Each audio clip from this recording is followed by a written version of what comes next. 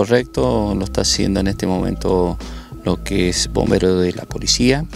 Fue requerido ante esta situación donde el señor Daniel Carriqueo intentó pasar lo que es la cola del dique de un lado al otro y bueno, hasta el momento lo que hemos recogido como testimonio es que llegando a la isleta eh, y faltando pocos metros, eh, pide ayuda, alza las manos en una otra oportunidad y después se eh, sumerge ya hacia las profundidades del dique.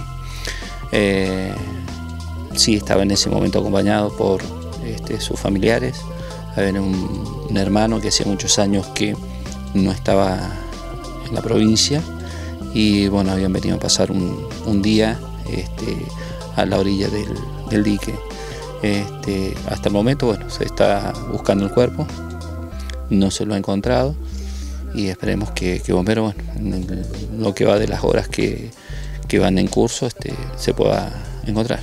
Sí, la verdad que solo para el boxeo puntano, sino para el boxeo nacional, donde se nos fue una gran persona más que un boxeador, un tipo pocos encontrados en el boxeo, tipo de palabra.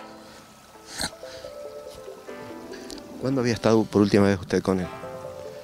Con el negro estuvimos hace poquito, hace unos días estuvimos juntos, pero...